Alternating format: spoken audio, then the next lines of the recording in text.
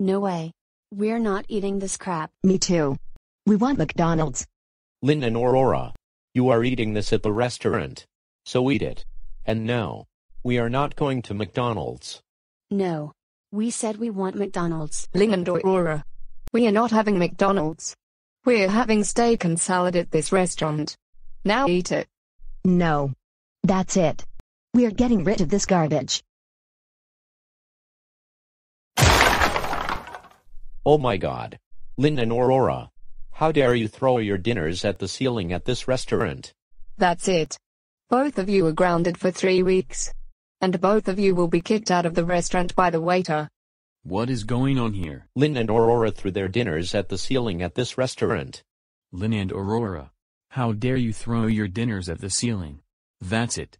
Both of you are kicked out of the restaurant. Get out of here right now. Both of you go home and go to bed.